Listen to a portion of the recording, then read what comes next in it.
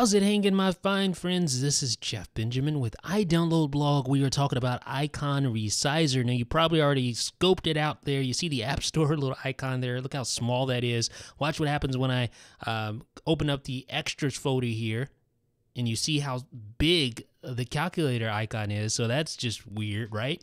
Uh, this is Icon Resizer. And as you can see here, I can even move around, obviously, my uh, App Store application. I can move it around like a normal app icon. It works just like a normal app icon. I can launch it like a normal app, but it's just really small. And this is all courtesy of Icon Resizer. Now, here are the preferences for Icon Resizer. Sorry, I'm kind of lagging here on my phone for whatever reason, or my iPod Touch.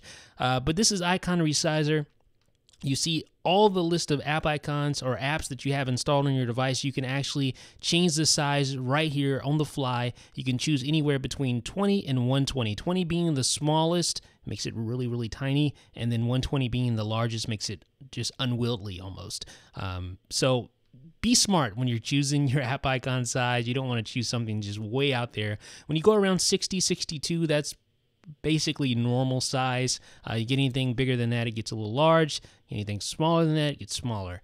Uh, you will need a respring to enact the changes here, which I've done.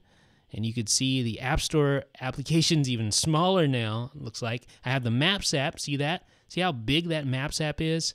Um, yeah, that's pretty large and in charge, right? And it, it, does overlap other app icons on your screen when you move those around. Wow, my device is really laggy. Um, so when you move those around, it does obviously overlap your app icons. So you have to be aware of that. This is not going to be a tweak that I don't think most people are going to want to use. It's just kind of weird to have like these huge app icons or these super small app icons. And plus, if you really want to resize your apps, you know, a tweak like Springtomize 3 already does that and so much more. However, this does have some unique features that you can go in and enable as you'll see here in the preferences. Um, so let's go back to the settings and go back to the preferences here and you see you have you can default icon size so you can change that right there on the fly. You can change the newsstand size. Um, and of course you can change individual apps which is really the big deal here. Individual app icons you can change the size of those. So that's really nice. Um, so here all my app icons resized there.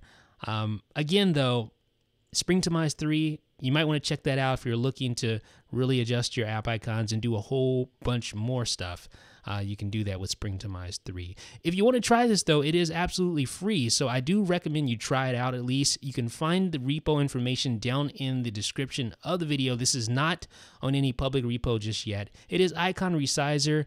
Folks, let me know what you guys think about it in the comment section down below. This is Jeff with iDownload Blog.